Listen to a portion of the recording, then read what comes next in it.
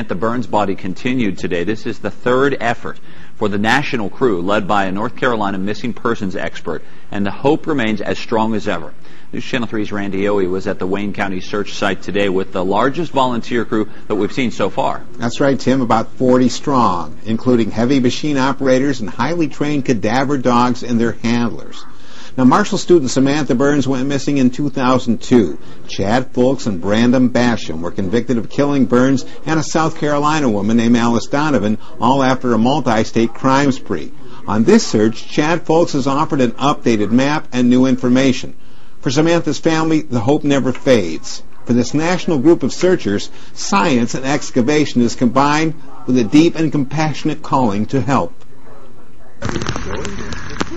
Well, the hope is always there, you know, and we appreciate Monica and all her volunteers for coming back. Tammy Atkins, Samantha Burns' aunt, is one of the many family members who stand vigil, waiting and hoping, as excavators remove some 20 feet of fill dirt dumped here long after the murder.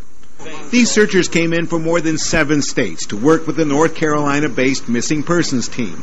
Missouri's Marion Stricker is an eight-year team veteran who says he helps not because of a personal loved one lost, but because he was called to do so.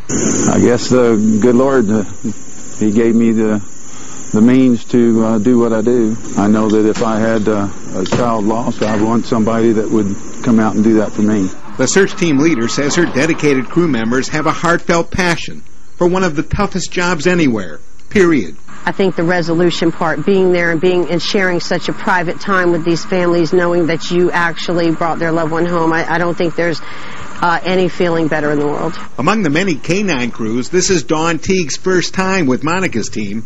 But the veteran missing person searcher says the reward is in meeting families who need real friends. Every time they get a call, you're going to try to check an area out, and you want to be there. Samantha Burns aunt says after seven years, searching for closure means much more than an often used phrase. It never goes away. You never stop thinking, what if, maybe here, maybe there. You know, it's just something that you always think about. The Burns family just wants somewhere to pay their respects. Now, these searchers are resolute and determined. This site is their best hope so far, they say, and there's nothing to lose. So we asked, how long will you be here? The search leader says, we were set to finish and succeed on Sunday. Many team members have to go back to their real jobs. But Tim, some are staying. New volunteers are coming in. It's day by day, and the hope is hour by hour. And uh, Monica Caison says they will stay and they will work until they can exclude this particular site, but there are no plans to end this search.